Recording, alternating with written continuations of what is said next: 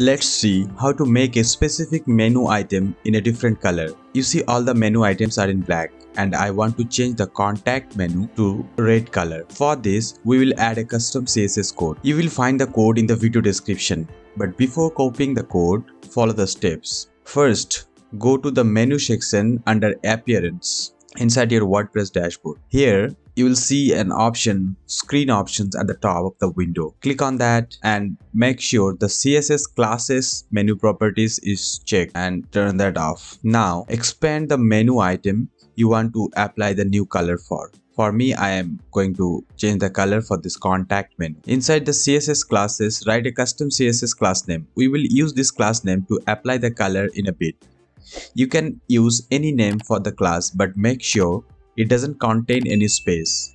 You can use the hyphen sign.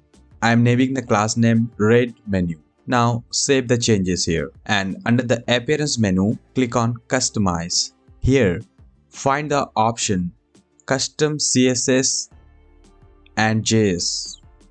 Click on that. If you see some code is already there, don't panic.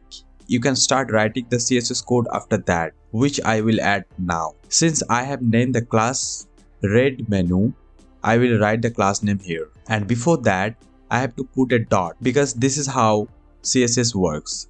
After that, I need to write dot menu hyphen item without any spaces because we are targeting the menu item of the website and put one space and a greater than sign again one space and a small a a is for the anchor links since the menu items are links for some pages or sections and start with curly brackets. Inside the curly brackets, we will need to the final code. Wow, we are close. To change the color, write color colon the color name. I will make the color red. After that, write the exclamatory sign and important and end with semicolon. I am adding the important because it will prioritize this code over the theme's other code for this section. And see the color is red now. Additionally, you can change the font size if you want by adding the font size attribute like this and I'll make this 15px and important. You see the font size is now 15px and hit the publish button